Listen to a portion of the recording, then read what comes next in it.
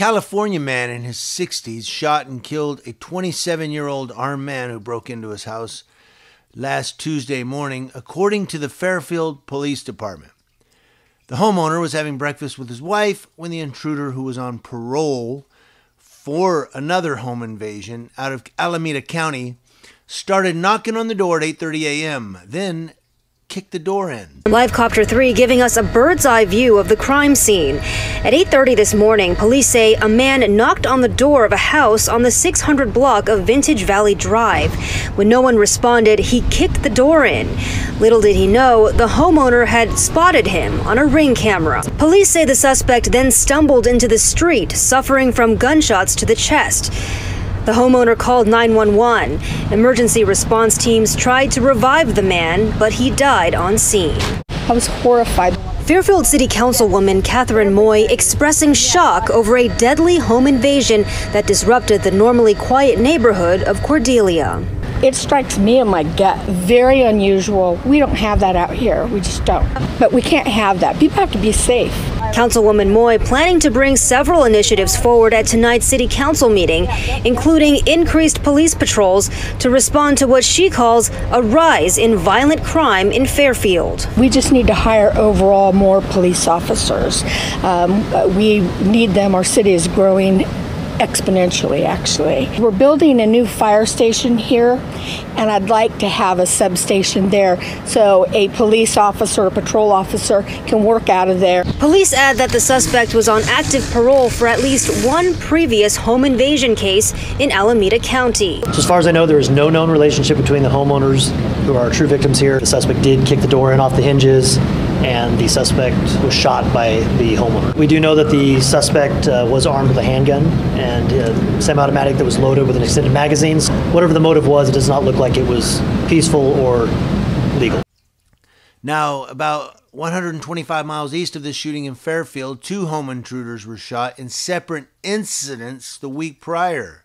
This week, a home intruder has been shot and killed in Modesto. Live Copter 3 was up over Service Road earlier, where deputies say a homeowner shot a man this afternoon. So earlier this week on Tuesday, deputies told us that an elderly woman had shot and killed another woman who was breaking through the sliding glass door of her home with a fire extinguisher. Well, today, deputies say the intruder actually got in before he was shot and killed. Today's incident on Service Road was about 15 miles away from Tuesday's shooting on Blue Gum Avenue. There's no indication the two shootings are related. We spoke with a friend of the homeowner who says that the homeowner, homeowner has been burglarized at least three times before. The home that we're talking about is just beyond these cornfields behind me.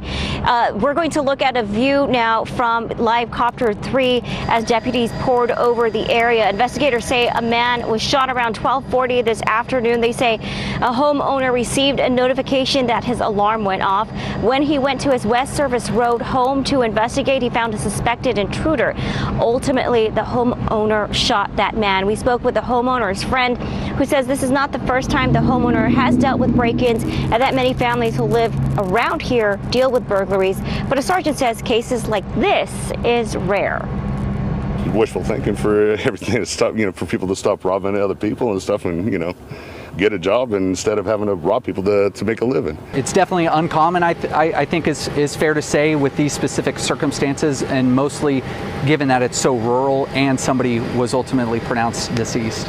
They identified the intruder as 41 year old Rodney Lee Martin of Turlock. Shortly after the homeowner entered the house on Friday, the suspect shot him several times. The homeowner returned fire, hitting him. Deputies arrived and found the intruder dead from a gunshot wound. No arrests have been made. And Fairfield police tell me that the homeowners are shaken, but are otherwise doing okay.